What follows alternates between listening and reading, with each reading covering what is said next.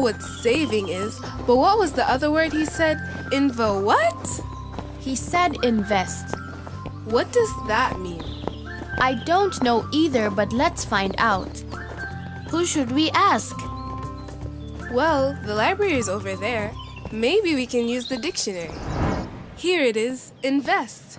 To put money in different places with the expectation of making more money than you put in. To put, money in different places with the expectation of making more, of making money, more than money you put than in. you put in. Wait, so your money can multiply without working every day for it? I think that's what it means. But how long will it take for it to multiply so that we can get the millions? I don't know.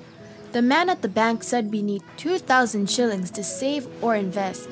For 2,000 to even become 1 million seems like a long time. Well, what if it multiplies fast like Gederi's mushrooms? What if it multiplies by 1,000 in one day? That will already make it 2 million. So, how do we know? Should we go back to the bank? I don't know. I didn't like how that man made us feel. Well, Kibena, how else would we know? We should just be humble and go back. Okay.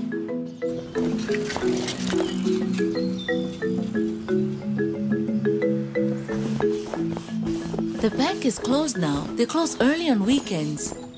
Oh, thank you. Do they open tomorrow? No, not until Monday morning. I don't know if I can go for the rest of the weekend without knowing, guys. Knowing what? Come on, you can tell me. You never know. Hello, I'm Miss Gala. Hi, Miss Gala. We want to put our money here at the bank. We already know that we need 2,000 shillings to save or invest. But how long will it take for it to be 1 million? I see. Well, good thing you asked me because I actually know. You, You do? I do. It all depends on the interest rate. Into what? We're learning so many new terms today. That is great. Interest rate. It is the number that is used to calculate how much the money you put in the bank multiplies by, usually in the form of a percentage. Okay. So what interest rate do we need for our 2,000 shillings to be 1 million? Well, I can tell you for sure that this bank here has a standard interest rate of 20% for any amount that you save for one month because I also put my money here. You have? That's amazing. What made you want to do that? I wanted to start off the business, but I didn't have enough money to start the business. So I decided to put the little that I had in this bank while I continued to earn elsewhere. Putting it in the bank helped me disciplined to not use it for other things, so it helped the money increase over time. Now I have this shoe store from the profit that I made, and I'm able to send my children to school with what I earn here while I still have some balance still growing in the bank. I will use that profit later for when my children have to go to university because it is not cheap. Tell me about it. That's what we're trying to do too. Afford our university education by investing today. If I remember correctly, by profit, you mean the additional money you make from your original money? That's very right. You must have a good memory. That's really impressive, Miss Gala.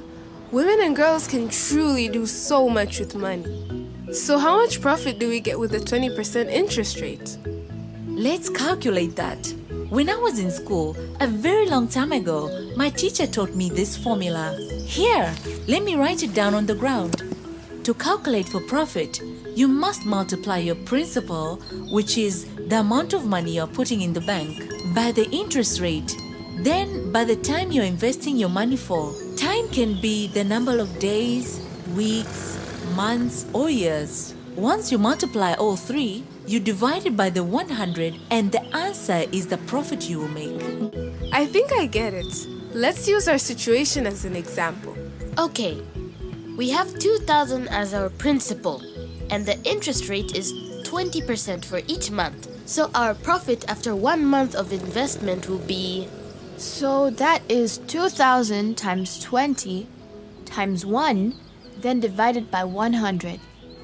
2,000 times 20 is 40,000.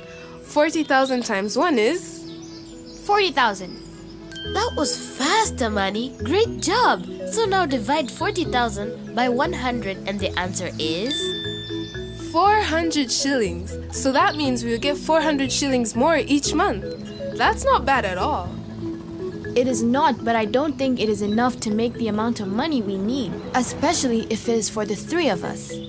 Yeah, you're right. We only have seven years to invest until we go to university. And my quick math tells me we won't even make 50,000 Kokotoa shillings as profit by then. So I guess we can never make the amount of money we need just by putting it in the bank. Not by the time we graduate and need the money anyway. Wait! What? The three of us have 1,250 shillings altogether.